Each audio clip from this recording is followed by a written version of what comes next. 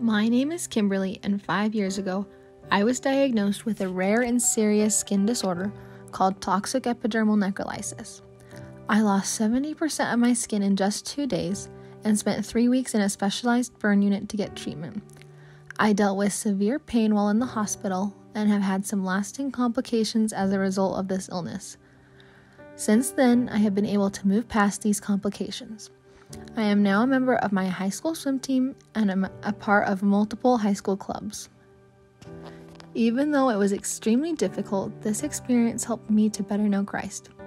I felt Him near me, giving me emotional and physical strength that I needed to overcome this challenge. I have a testimony of Christ's role as my Savior. I know He understands exactly what we go through. He suffered for all of the sins, pains, and heartaches that I face. My name is Kimberlee, and I can do all things through Christ.